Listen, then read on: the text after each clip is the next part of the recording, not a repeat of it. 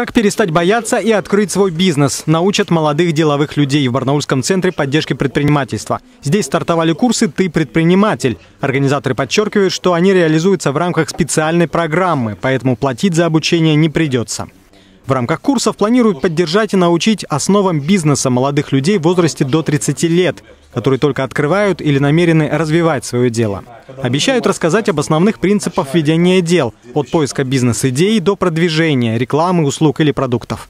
Однако самое главное для начинающих, по словам организаторов, это преодолеть свой страх – что может не хватить знаний, каких-то навыков, что э, в конце концов человек может просто прогореть, да, потому что мы все понимаем, мы открываем бизнес, мы начинаем платить налоги, от, их нужно где-то брать и так далее.